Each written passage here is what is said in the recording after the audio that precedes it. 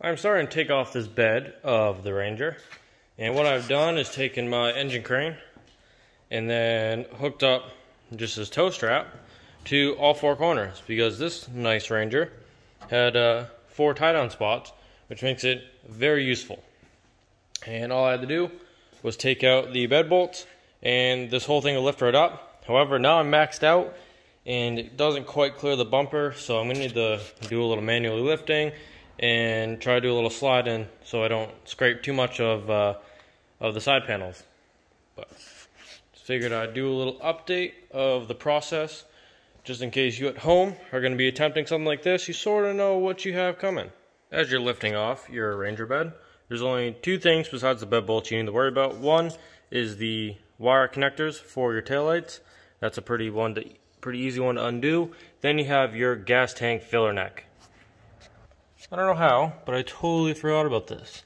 Now, what you're going to want to do is you can either disconnect from the bedside or undo the metal neck from the rubber one.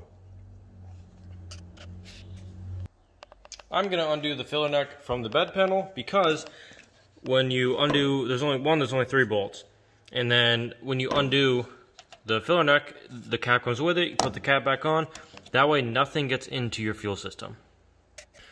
Whereas if you took the metal slide out of the rubber part of your filler, uh, you'll have a big hole that you'll need to stuff with paper towels and whatever. But through that process, you might push some debris in there that you do not want in your fuel tank. I've now pulled the filler neck down in, put the cap on, and put the mounting screws back in. That way I don't lose them. This is now what the Ranger bed looks like. I have cut out this middle piece I just see on the ground by cutting down the seam.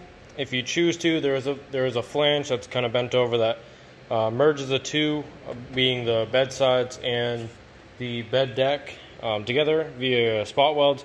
You can drill those out just like I drilled out the spot welds in the back here. Uh, however, I didn't want to do that. I just rather cut them, and I cut the front. I gotta fix up that middle section because there is kind of put onto a middle cross member. Um, so I gotta cut that back and make that look nice so I can still use it. But back here I did drill out um, the spot welds. There was quite a few. You just kind of have to feel them and brush off the paint, maybe clean the paint a little bit, and you'll find them. Um, that was pretty easy. Then all I did was bend over the lip, and that's when I cut it, and then I just beat it down below. If I were to do it again, I would have taken these off from both sides because these are kind of holding them up, and when you push them, or just having the weight would uh, of it being released would push them down, and nothing major happened. Uh, however, theoretically, in a serious case, you could bend the bottom of the of the bed sides, which you probably don't want to do, but it didn't end up being anything anything crazy. But if I were to do it again, I probably would have popped those off just so that wasn't a factor at all, and that would drop right through. This side, I kind of cut some of this one, but this side you can really see I'm talking about with this flange. Um, it kind of there was spots basically where the cross member is that they kind of disappear, but uh, for the most part the flange is there. Um, that's where you'll find all these spot welds. You can kind of see the lighter, the lighter circles all the way through. Those you have to drill out, and then that middle piece should pop out of there. Not what I ended up choosing to do, but you could definitely go that. Back to the Ranger bed, we have the insert all tacked up ready to flip over so we can work the cross members. Now, it's important to do the cross members before this is fully welded in because you don't want your front line to be all wobbly and you don't want your rear line to be all messed up, kind of in the same, same orientation.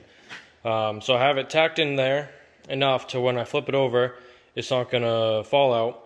But that way I can do the cross members and the cross members are going to stiffen it up, keep it, keep it straight, and then I can flip it back over, finish welding the whole seams um, and the front.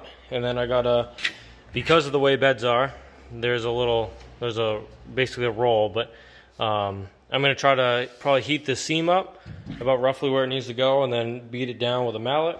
And then, then I can weld the bottom seam. And then uh, you just need to put our holes in uh, for our bed bolts. And then it, but when you're welding this, it's important to only do little sections at a time because you don't want to warp it. You can warp the whole sheet and it's going to look super funky. Now it is getting a bedliner paint, so it should cover up a lot of the uh, imperfections that um, any warping might have to do. But uh, less warping is more better, and you just gotta go slow and make sure you're kind of evenly um, making heat around. So you do a couple over here, maybe do far corner, then come up here, maybe do like an X. So you're always trying to um, heat away from from one general location. That's going to help you with your warping. Now that's going to be all for today. This is kind of the intro to the welding portion. Um, I'm out of time for the weekend really is what's stopping me. And uh, I will get back to this next weekend, maybe Friday, Saturday, and we'll do, we'll flip it over. We'll do all the cross members, and then we can finish doing the uh, bed itself, and we'll move on to paint and paint prep. Thanks for watching. Let me know if you liked it down below, and let me know if you have any tips or tricks or questions that I might be able to answer in the comment section. But anyways, till next weekend, thanks for watching.